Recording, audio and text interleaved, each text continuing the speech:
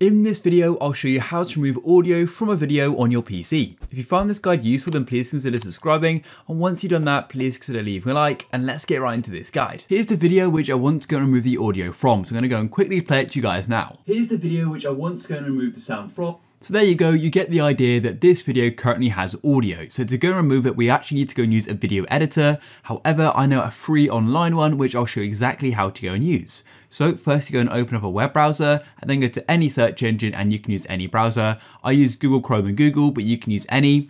And then all you want to do is go and search for this free video editor called CapCut. You spell that C-A-P-C-U-T. You may have heard of CapCut before, it's quite a popular mobile app. Let's go and search for it just like so and make sure you go to the official website which is capcut.com, go and click here. And then once you're on the website, all you need to do is scroll down and go and tap on edit video online like this and it's going to go and take you straight to a project. I recommend just creating a blank canvas like this because we don't need a template. Now, what we need to do is go and upload the video, which we want to go and remove the audio from. So go and tap on this left hand side menu here and our file explorer will open. Then find the video and go and tap on open and as you can see on the left hand side, it's now uploading and it doesn't take long at all.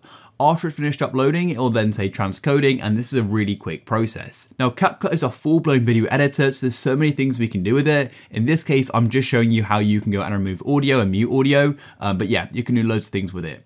So now it's finished transcoding, we now need to go and add the video to our sort of timeline, I guess. So all you need to do is hover your mouse over it and then go and tap on this green plus button in the bottom right. And as you can see, is we've now gone and added it to our timeline. So to go and mute it, to the left of it, we've got this sound icon. All you need to do is go and tap on it like so, and that's going to go mute it. If you just want to go and make the audio quieter, then you could just go to the top right, tap on audio, and then you can go and turn this down to zero as well. However, you can mute it or just reduce the audio. It does the same thing. Then once you're happy with it, all you need to do is go to the top right and go and tap on export like so. And this is going to save it back to your computer. You are going to need to go and create a free account. So yeah, I've already got an account, so I'm going to log in. But if you don't, just tap sign up and go and create an account. Then I'm going to go and tap login like this and I'll show you what to do next. After you've logged in or created an account, then go back to the top right again and go and tap on export like this.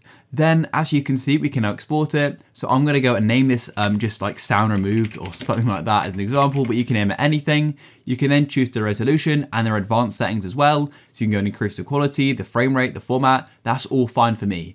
Then I'm going to go and tap on export just like so and it's going to go and take a moment and as you can see we can now go and see the percentage counter. Now I found this counter suddenly sort of jumps so maybe stuck on zero for a bit of time but then it's suddenly going to jump up and just like that it's all finished. So then all you need to do is go and tap on download to the right like so and the file will then download.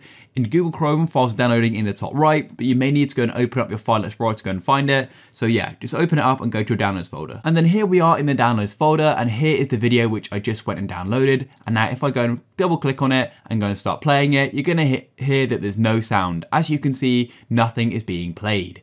If you guys found this video useful, please consider leaving a like. Peace.